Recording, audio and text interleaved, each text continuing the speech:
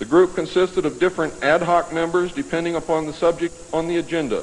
The basic members were Rockefeller, a representative of the Department of Defense, a representative of the Department of State, and the Director of Central Intelligence. It was soon called the 5412 Committee or the Special Group. NSC 5412-1 established the rule for the first time, established the rule that covert operations were subject to approval by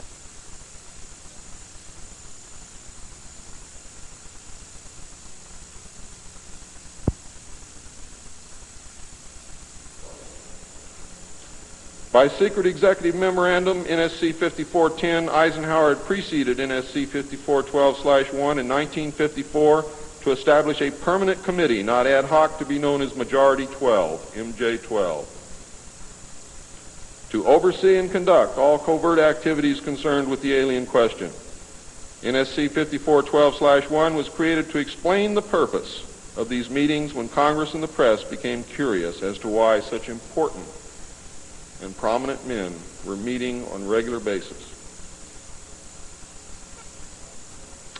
Majority 12 was made up of Nelson Rockefeller, the Director of Central Intelligence Allen Welsh Dulles, the Secretary of State John Foster Dulles, the Secretary of Defense Charles E. Wilson, the Chairman of the Joint Chiefs of Staff Admiral Arthur W. Radford, and that's why the Navy got everything, because the first joint chairman of the Joint Chiefs of Staff who served on MJ-12 was Navy. If it had been an Army general, the Army would have had it.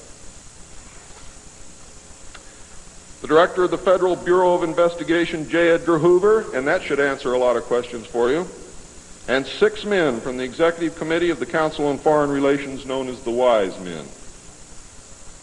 These men were all members of a secret society of scholars that called themselves the Jason Society. See you smiling, Bill. Thought I didn't know it, didn't you? Fooled you.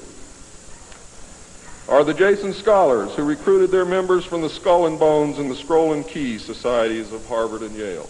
And that was stated verbatim in Operation Majority.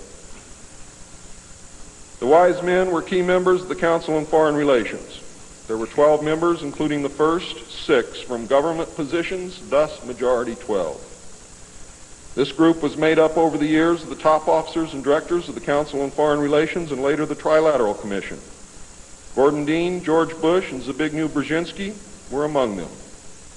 The most important, however, and influential of the wise men who served on MJ-12 were John McCloy, Robert Lovett, Averell Harriman, Charles Bohlen, George Kennan, and Dean Acheson. Their policies were to last well into the decade of the 70s, and it is significant that President Eisenhower, as well as the first six MJ-12 members from the government, were also members of the Council on Foreign Relations. Thorough researchers will soon discover that not all of the wise men attended Harvard or Yale, and not all of them were chosen for Skull and Bones or Scroll and Key membership during their college years.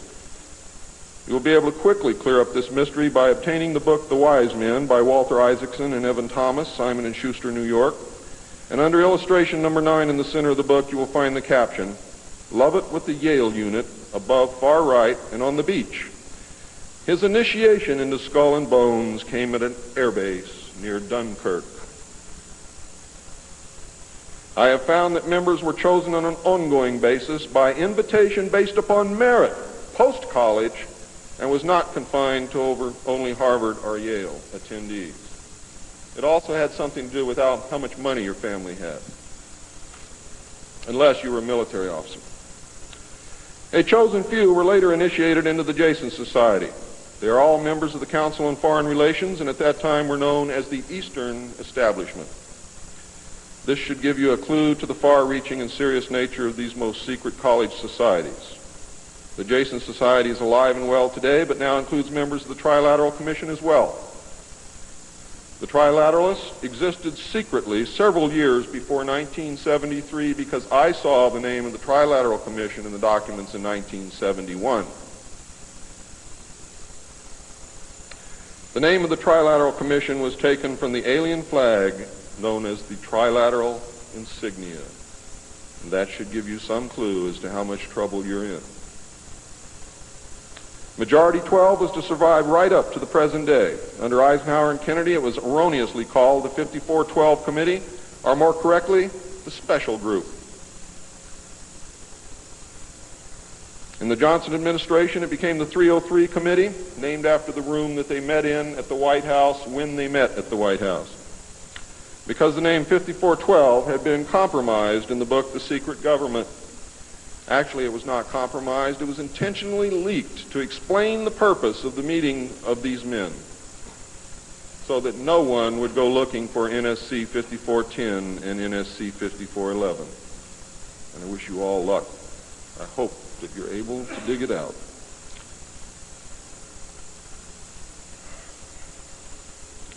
Actually, NSC 5412-1 was leaked to the author to hide the existence of NSC 5410.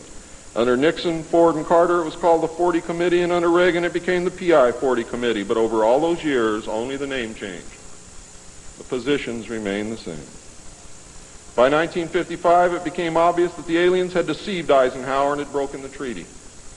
Mutilated humans, yes, mutilated humans, were being found along with mutilated animals, and yes, mutilated animals, and those of you who doubt that this is taking place, should leave your job, should leave your home, should do whatever you have to do, and go look for yourself. Because it's important that you know it and that you believe it.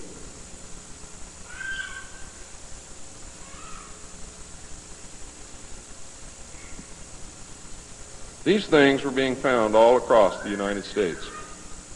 It was suspected that the aliens were not submitting a complete list of human contacts and abductees to MJ-12, and it was suspected that not all abductees had been returned and this has been verified. The Soviet Union was suspected of interacting with them, and this proved also to be true. It was learned that the aliens had been and were then manipulating masses of people through secret societies, witchcraft, magic, the occult, and religion. After several Air Force combat air engagements with alien craft, it also became apparent that our weapons were no match against theirs. In November of 1955, NSC 5412-2 was issued, establishing a study committee to explore all factors which are involved in the making and implementing of foreign policy in the nuclear age. This, again, was only a blanket of snow that covered the real subject of study, which was the alien question.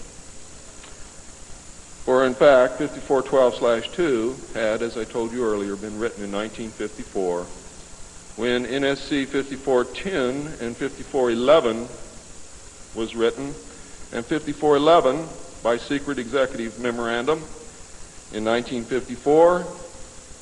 The study group was commissioned to examine all the facts, evidence, lies, and deception and discover the truth of the alien question.